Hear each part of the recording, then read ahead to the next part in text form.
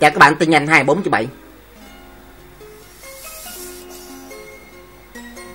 Shimoto Kosuki ZX10RR 2008 chính thức trình làng Kosuki ZX10RR được phát triển từ mẫu ZX10R nhưng được định hướng phát triển trong xe đua chế động cơ là 3 xi lanh, trọng lượng siêu nhẹ và có công suất 197 mã lực. Mới đây, Kosuki đã công bố thông tin chính thức về cái mẫu ZX10RR phiên bản 2008. Theo thông tin từ hãng xe Nhật Bản, Shimoto Kawa ZX10RR 2008 có những thay đổi nhỏ về màu sắc ở phục trước và cụ thể hơn, bình hơi của phục trước của mẫu xe này có màu bạc, thay đổi cho màu đỏ ở phiên bản trước đó. Trong khi đó, nắp đầu phục cũng được đổi từ màu đỏ sang màu xanh lá cây. Đây tất cả những thay đổi trên chiếc Kawa ZX10R 2008 thiết kế và thông số kỹ thuật của xe vẫn được giữ nguyên. Kosuki ZX10RR 2008 sử dụng động cơ là 3 sedan, được làm mát động dịch với dung tích 998cc.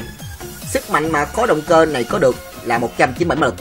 Tại 13.000 phút, mô men sáng cực đại 113.5 Nm. Tại 11.500 phút, sức mạnh được truyền tới bánh thông qua hộp số siêu cấp.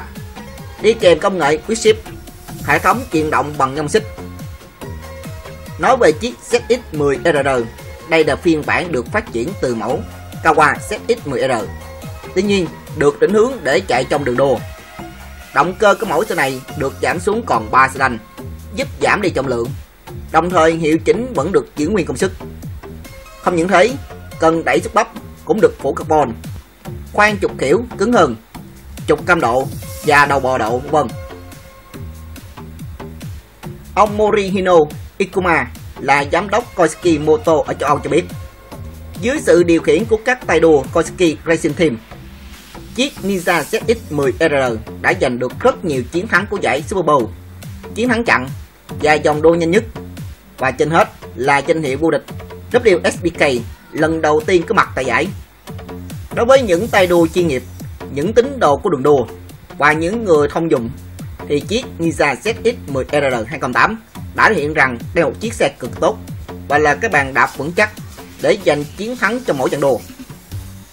Và giá thành của chiếc Kawa ZX10R dự kiến là không gì thay đổi, vẫn giữ ở mức 2,19 triệu ruby, tương ứng 760 triệu đồng Nam.